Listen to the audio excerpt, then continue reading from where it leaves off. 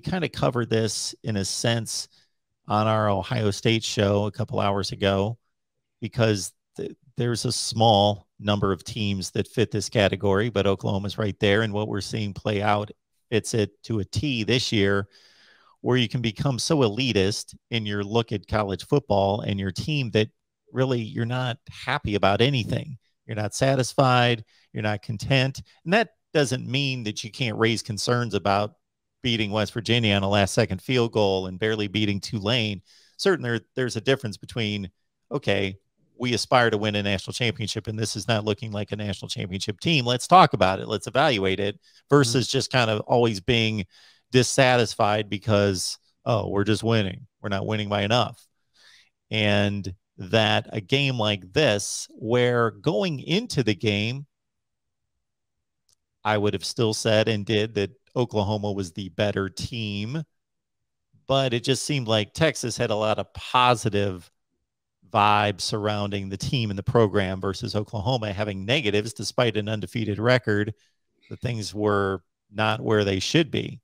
And maybe a game like this uh, just re energizes everybody yeah, and I think I think that it has. I you know, and, and for whatever reason, early on this first half of the season, first five games of the season, you know, it, just everything's not clicking. You know, both offensively and defensively, but I think more so on on the offensive side of the ball, um, based on you know where they were, um, you know, what Oklahoma was projected to do. So I think just from the fan base, there was a lot of I think um, cautious optimism, if if I could say, just I think a lot of people thought, know what this team could be, um, but they just weren't able to put it together. Not something wasn't something wasn't clicking, and and you know, I mean, uh, we've we've been on here for 12 minutes, so I think we've delayed the inevitable long enough. I in my in my years of watching um, Oklahoma football, I don't I, I don't know that I've ever seen a fan base, and, and granted, you're always going to get that to a certain extent with a backup quarterback. He's always has been and always will be the most popular guy on campus. Um, I, I don't know that I've ever seen more of a fan base and a team get energized and rally around um, one kid more than they did with Caleb Williams in this game. You saw it you saw it on the 66 yard touchdown run when he came in there for the I don't remember if it was third and one or fourth and one, but the the short yardage play to begin the second quarter, and and then when Spencer Rattler made a couple more mistakes, um, it was inevitable. I thought. I mean, I, I obviously you could tell Lincoln Riley didn't want to have to make that change, and it's hard. You got to think about it from his perspective. He recruited he recruited Spencer Spencer since he was about 14. So he's got a, a long-standing invested relationship um, with him. Not that he doesn't with some with some of these other kids, but I think you know based on um, where he was at the beginning of the year and where he kind of got to himself. He's just, he was just, but he was just making too many mistakes. You know, the the interception,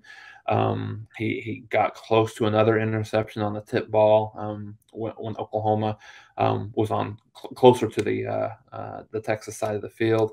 Um, you saw a um, obviously that fumble was very almost a almost a carbon copy of what happened last year. So I don't think Lincoln had a whole lot of choice at that point. He had to make some sort of a change, and and you can tell the team uh, the team rallied around around him. Uh, they invested in him, and, and it seems like on the field. Obviously, I don't have any connections or anything uh, like that inside the team, but but you could you could tell that they fed off of you know off of his energy. You could fed they fed um, just and I think more than anything, there's a leadership quality, the it factor that Caleb Williams has. That you know, and this is not a necessarily a a detriment to Spencer Rattler. It's just he just doesn't have it. It's just you know he just doesn't have.